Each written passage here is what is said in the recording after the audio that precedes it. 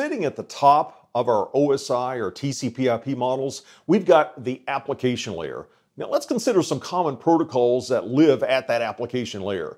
And when we discuss these protocols, we want to identify them as either a TCP or a UDP protocol. Recall that TCP and UDP, they live at that transport layer.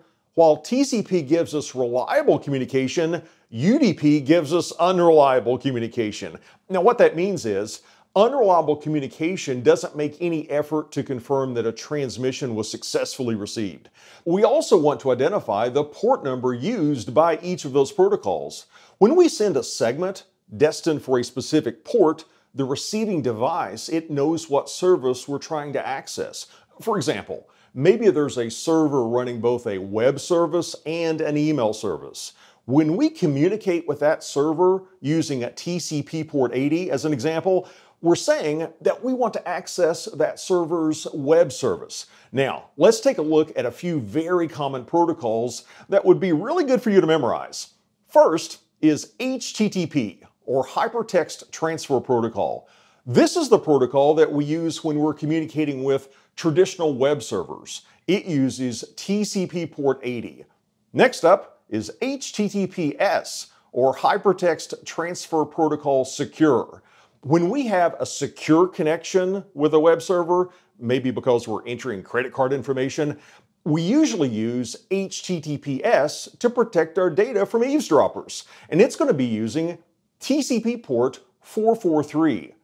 And when we're pointing our browser to that web server, we probably are not entering the IP address of that web server.